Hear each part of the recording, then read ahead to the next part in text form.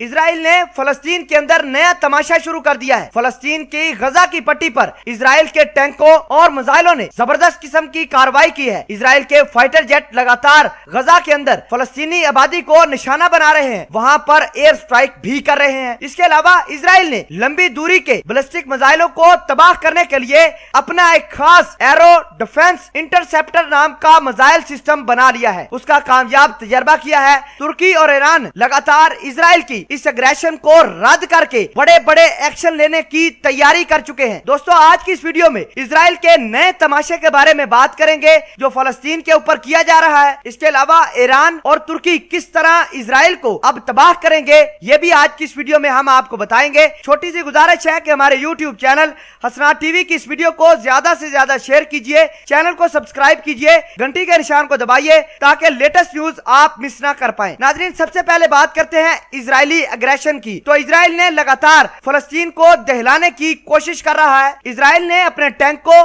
मिसाइलों और एयरक्राफ्ट की मदद से फलस्तीन के इलाकों पर निशाना बनाना शुरू कर दिया है। इतलात ये है कि गजा की पट्टी पर बहुत सारे फलस्तीनी शहीद हुए हैं और सैकड़ों जख्मी भी हुए हैं। इसराइल गजा की पट्टी पर जो हमले कर रहा है, उसकी जस्टिफिकेशन ये दे रहा है कि गजा की पट्टी पर हमास और हिजबुल्ला के बहुत सारे ठिकाने हैं। इस वजह से हम उधर अटैक कर रहे हैं। बड़ी बात यह है कि इसराइल ने अचानक फलस्तीन के ऊपर बड़े पैमाने पर बलिस्टिक मिसाइल अपने टैंकों से और अपने फाइटर जेटों से हमला क्यों कर रहा है? तो इसका सीधा सीधा जवाब यह है कि इसराइल को पता चल चुका है कि फलस्तीन के पीछे किसी भी अरब मुल्क की अब सपोर्ट नहीं होगी, क्योंकि फलस्तीन के मामले को सारे के सारे इस्लामी मुल्क ठुकरा चुके हैं। सिर्फ़ दो मुल्क ऐसे हैं जिन्होंने फलस्तीन के लिए आखिरी हद तक जाने का फैसला किया है, एक ईरान और दूसरा तुर्की। ये दोनों मुल्क बाहर निकलकर फलस्तीन की आवाज़ बने हैं और इसराइल की तमाम तर एग्रेशन को आड़े हाथों टैकल करने का ऐलान भी कर चुके हैं। आपको ये बता दें कि इसराइल को अब पता चल चुका है कि ना ही कोई बड़ा इस्लामी मुल्क फलस्तीन की मदद के लिए आएगा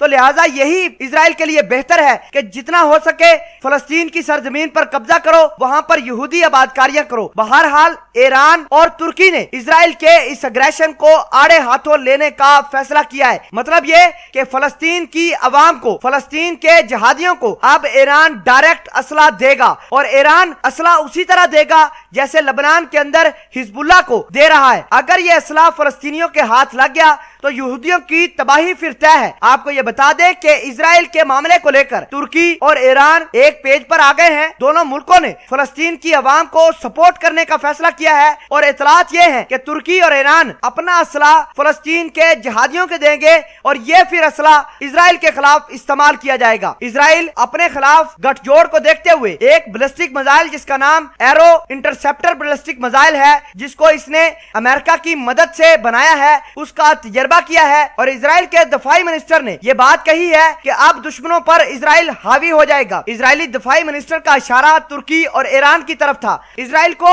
अपने ऊपर बैलिस्टिक मिसाइल गिरने का डर है कि कहीं ऐसा न हो कि फलस्तीन या फिर ईरान सीधा सीधा इसराइल के ऊपर बैलिस्टिक मिसाइल दाग दे। तो इस arrow interceptor missile system Israel ने बनाया ही इसी वजह से है कि जो भी लंबी दूरी से बैलिस्टिक मिसाइल आ रही होंगी इसराइल का ये डिफेंस सिस्टम उस बैलिस्टिक मिसाइल को तबाह बर्बाद कर देगा। नाजरीन ग्रामीण तुर्की और ईरान, फलस्तीन की हमायत के लिए जो बाहर खड़े हुए हैं, इस हवाले ऐसी आप क्या कहना चाहते हैं? और इसराइल ने जो गजा की पट्टी आरोप लगातार हमले कर रहा है, इसको आप किस तरह देखते हैं? कमेंट सेक्शन में अपना इजार ख्याल ज़रूर पोस्ट कीजिएगा। जजाकल्ला